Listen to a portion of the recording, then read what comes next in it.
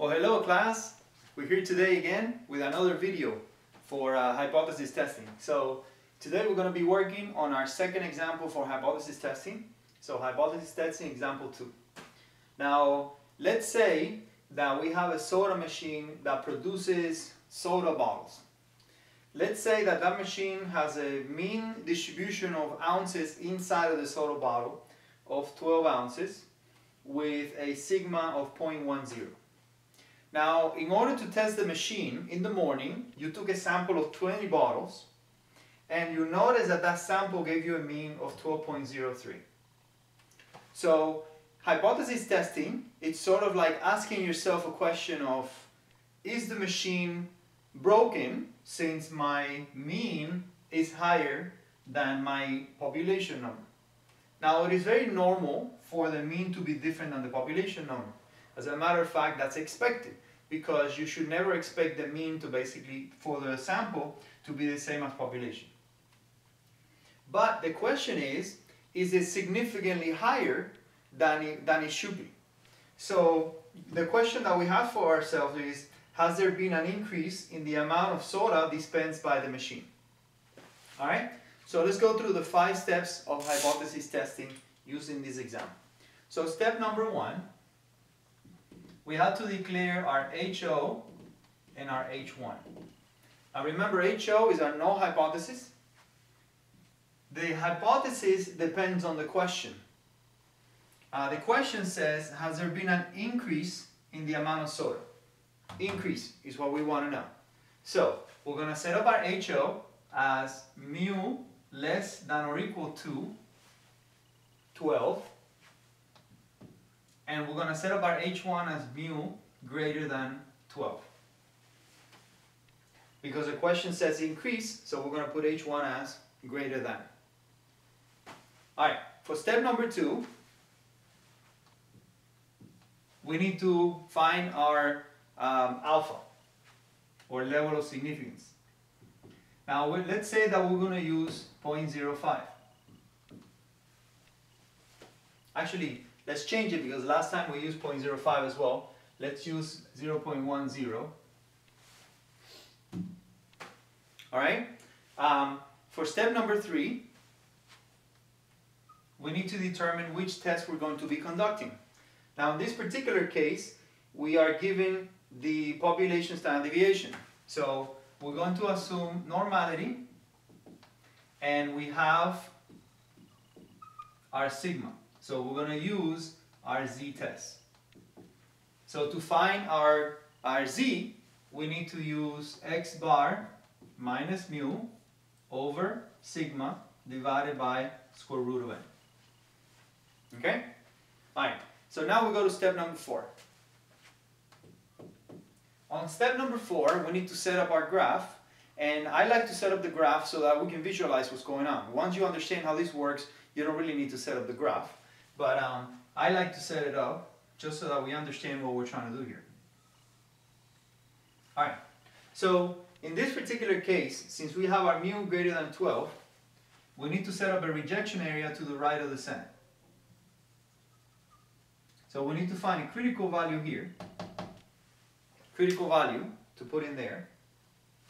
Alright, now we know that our alpha is going to be 0.1, and notice that this is what we call a one-tail test. And it's a one-tail because we're putting only one tail in here. The previous one, in example one, it was a two-tail because we put one on this side and one on this side. Alright? Now, this is one tail because the question was, is there an increase? The previous question was, was there a change? Or is it different? And when it asks you that question, you got to do two tails. Okay? In this case, he's asking you for increase. Now, how are we going to find that critical value? Well, we know that the probability of being on this side of the curve is 0.5, and we know that we want an alpha of 0.1. So what's missing in here is 0.400.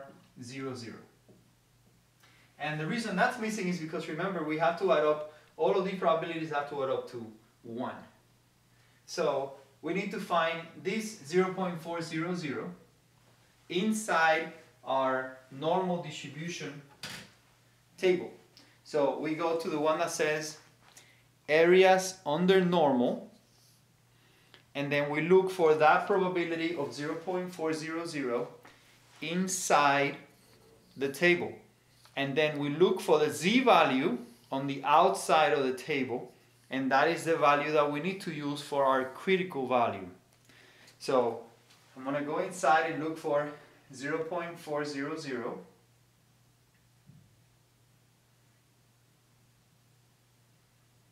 Alright, notice that 0.400 is not available, but we have 0.4015. So I'm going to use a critical value of 1.29.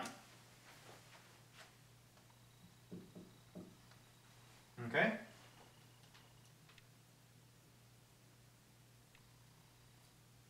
Yep, 1.29. Alright, so once we have our critical value, that value is going to tell us whether we're going to be inside or outside that rejection area. So after we do that critical value, we need to run our test statistic. So what we got to do our z equals x bar minus mu over sigma divided by square root of n. Our x bar is 12.03. Our mu is 12. Then we have our sigma, which is 0.10 and then we're going to divide that by square root of sample size which in this case is 20 and even though it would be great if I can do that in my head I can't. So let's plug it and hit this baby right here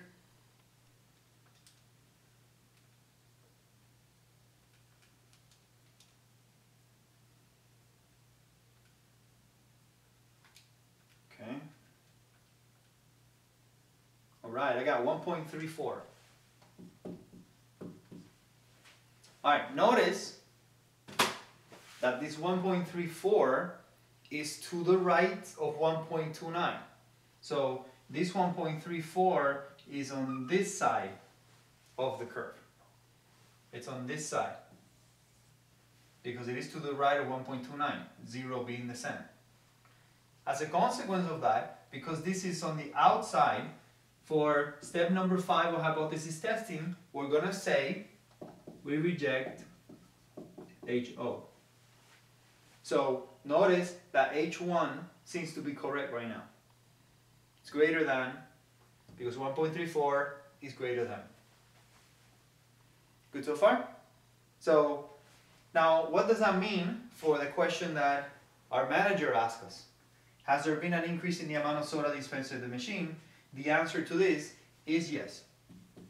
So, manager, call the mechanic. Actually, that was a joke. All right, have a good one. See you guys later.